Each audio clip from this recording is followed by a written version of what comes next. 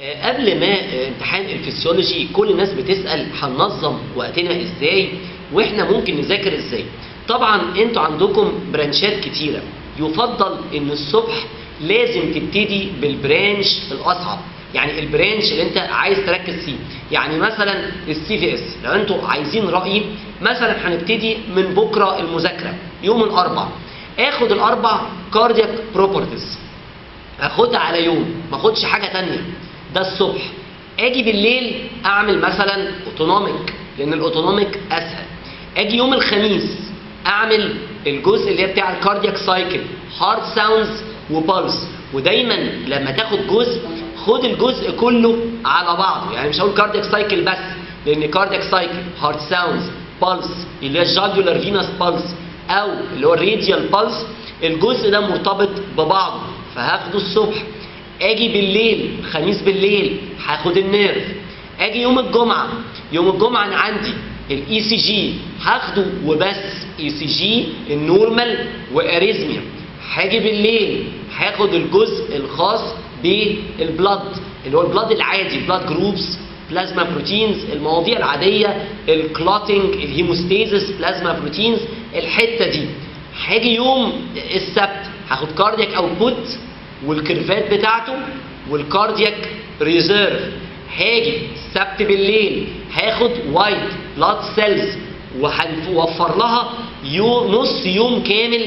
لأن طبعا كل الناس ما كانتش مبسوطة قوي بال white blood cells قبل امتحان ال assessment. فعايزة تقراها بتركيز.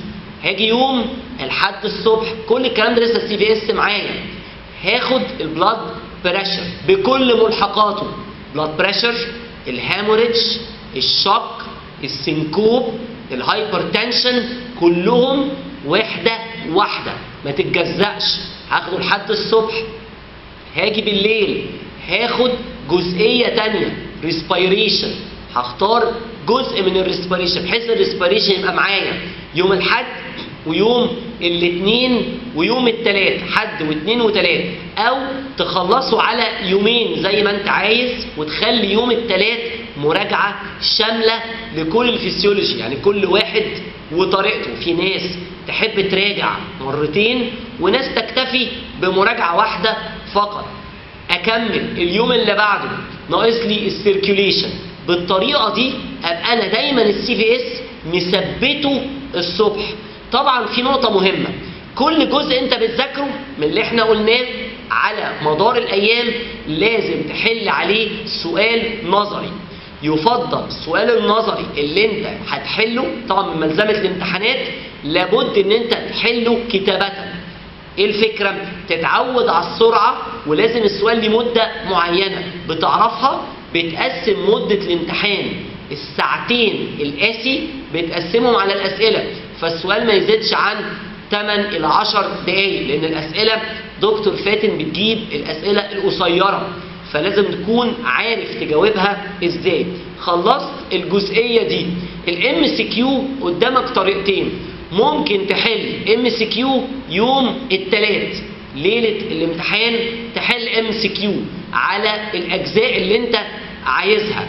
لأنك لو عايز تعمل MCQ ونظري وتذاكر الموضوع كل الكلام ده في فترة معينة ممكن يبقى overload عليكم. فده اللي أنتوا هتعملوه بتقسيم الوقت. ناقص نقطة مهمة امتحان النظري هو ثلاث ساعات. الساعة الأولى بتبقى MCQ فيها 65 جملة تقريبا والساعة ساعتين التانيين بيبقى فيهم نظري.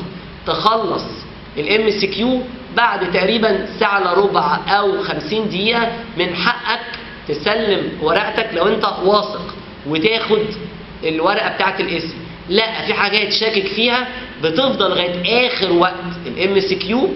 وبعد ما تخلص ال MCQ تماما النظري هنقف معاكم في المراقبة.